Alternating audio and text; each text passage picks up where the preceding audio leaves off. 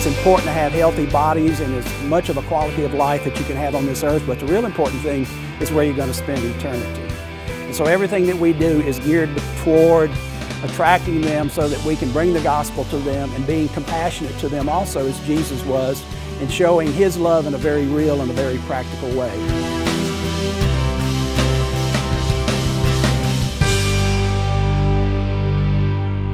Real important part of our ministry here to the children is our medical dental care. Um, the food is good to bring them nutrition, but the medical dental is we do both preventive and curative care. We have one of the best dental clinics that takes care of the dental care for the children.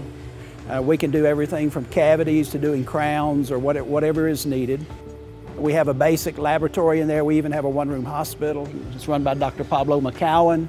This is a ministry that, that uh, offers assistance to many people. And uh, Living Water uh, offers health to the children through its food programs or food kitchens and its clinics. And that has always been my desire to help many people.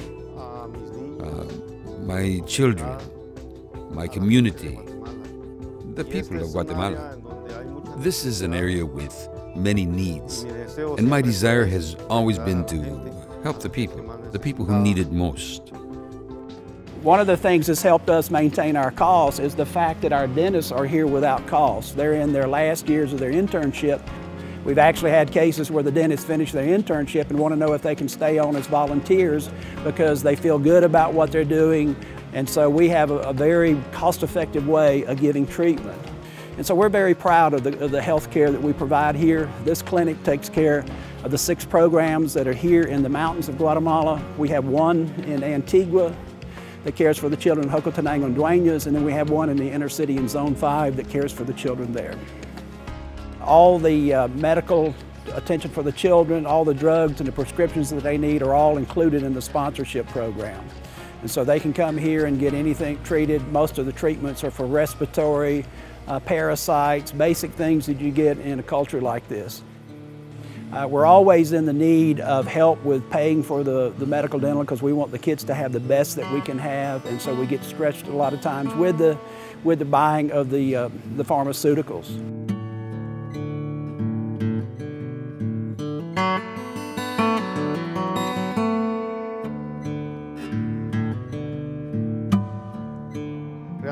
There are, of course, uh, other places, like the capital or other large cities with opportunities where I could perhaps make more money. But that's not my desire.